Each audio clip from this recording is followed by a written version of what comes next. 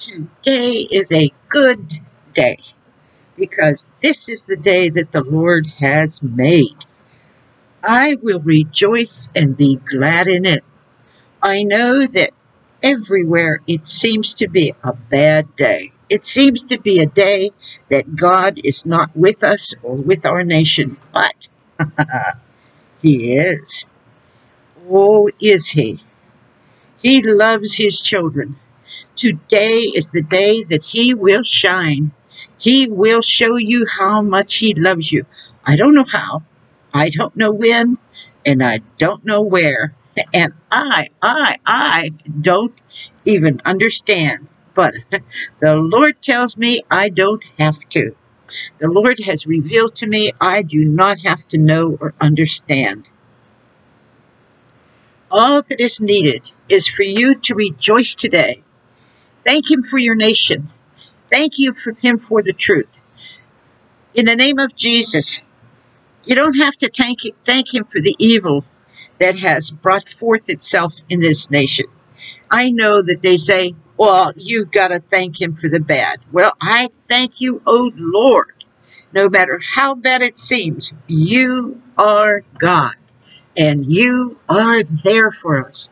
You will help us no matter what anybody says, no matter what anybody has done, no matter what, they are not God. A devil is not God. A demon is not God. A curse is not God. God is God. You who made everything. Thank you, Lord. You who sent your Son to glorify Jesus Christ, you sent him, Lord God, to save our souls, to reach into our lives, and to overcome the enemy for us. Thank you, Father. You know, the first time you came, Jesus, the first time you came, you came in love and mercy. Now, the second time you come, it's going to be in judgment.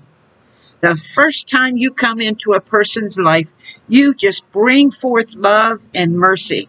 But the second time you come into a life, you're going to bring judgment, finding out where they will not follow you, where they lie, where they tell people this, where they tell people that. You are coming in the name of Jesus Christ. You are coming and you will destroy the works of Satan. This is what your word says that Jesus Christ died to destroy the works of Satan. No greater, no greater, greater destruction is there than to raise from the dead. You destroyed death and made it nothing. You destroyed hell and made it nothing. You destroyed it all in the name of Jesus, allowing everything to seem like, allowing the enemy to think like. I'm thinking about the day that you went into the grave, Jesus, and how the devil rejoiced positively you would never ever win again. and how you, Lord God, rose from the dead, proving life after death. Well, we are in the same situation, how you parted the waters for Israel, how you proved that you are God. There is nothing greater than you. And so today is the day of salvation. Today is a day to bring many souls that have lied and cheated and used your name and, and did such evil in your name. Today is the day to deal with the blasphemers, to deal with those who hate God.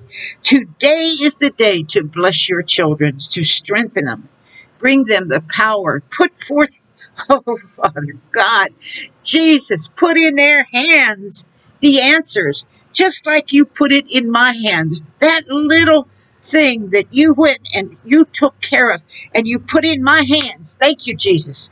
Put it in the hands of those that need it right now in the name of Jesus.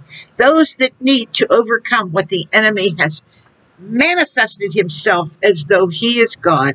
In the name of Jesus, we are trusting in you. We are believing you. There is no greater joy than to know that you are God and that you brought forth your son, Jesus Christ, and he died for us and he rose he rose from the grave to prove life after death. He rose from, from the grave, Lord God, to show how powerful you are. So the laughter and the lies that Satan has and the pleasure that the enemy's children has for a season in sin. It's only a season. a little season. Just a little season that they have pleasure in sin. I heard something today about someone retiring. And oh, you know, when you retire, you're supposed to rest. You're supposed to have a good time. I don't think anybody who is filled with evil that has done evil knowingly, knowingly, knowing that you are God, I do not think they're going to be able to rest very well. I don't, I do not believe that. Thank you, Father. Thank you, Jesus. Thank you, Jesus, for the hatred in people. The Bible says that if you hate people, you will be delivered up to the tormentors. If that's hatred is unforgiveness. If you do not forgive those who have persecuted you, lied on you, and hated you, you will be delivered up to the tormentors. So as long as the Christian remembers how to forgive, how to forget, this is the day, the greatest day that anybody could ever know or understand. This is the day that the Lord has made, and I will rejoice and be glad in it. I, I, I, I will rejoice and be glad in it. oh, hallelujah, hallelujah. Thank you, Jesus. Thank you, Lord. Thank you for your goodness and your mercy to your children. Thank you, Lord, for the times, Lord Jesus, that you are delivering them even now, in spite of right in plain sight, how the enemy has done everything in plain sight, bragging and, and strutting and sticking out his chest and screaming and yelling. right in plain sight, Lord God, you are delivering us. Right in plain sight, you are showing that you are God. Praise your holy name. Thank you, Jesus. Thank you, Lord. Thank you for sending us people who can do something to save the little children, Lord God, that, that were mutilated and destroyed.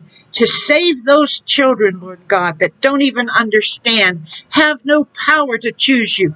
Thank you, Lord God, because you are delivering them even now. You are going to make a way where there is no way.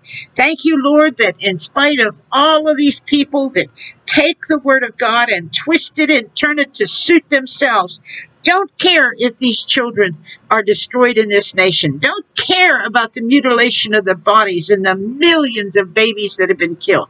Don't care about the oppressed woman that has been raped and murdered and, and all of that other stuff. Oh, oh, oh. In the name of Jesus, thank you, Lord. They don't care, but you do, Lord. That's the wonderful thing about you. You care. You care above all things. You care about every single man, woman, and child that is yours. Everyone that claims the name of Jesus Christ that loves you. Not the one that claims Jesus Christ and lives like demons. Not that one. In the name of Jesus, it doesn't matter anymore what they think, say, or do. What matters is what is done in, in our lives due to you. Thank you, Jesus. Praise your holy name. Praise your holy name.